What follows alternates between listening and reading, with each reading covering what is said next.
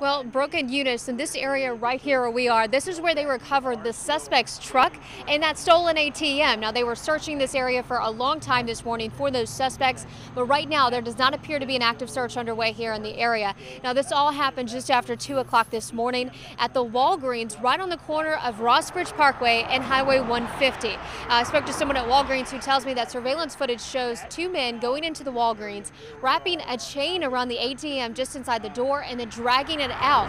Now, police got the call about that theft. An officer got behind the suspects as they were driving off. One of the suspects leaned out of their vehicle and fired gunshots at that police officer. Now, the police officer's vehicle was all shot up, but thankfully, that officer was not injured. Now, they uh, lost sight of those suspects, but they eventually found the suspect's vehicle and that stolen ATM right here where we are on Highway 150. That's just a few miles down from the Walgreens and just before you get to Lakeshore Parkway. So from Hoover, driving towards Bessemer. Now, Hoover police have not released any in other information.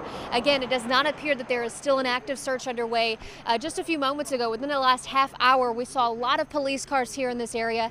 They cleared out. We don't see them anywhere along Highway 150, so we're still waiting to get an update on them from uh, the, about the search for these suspects. Well,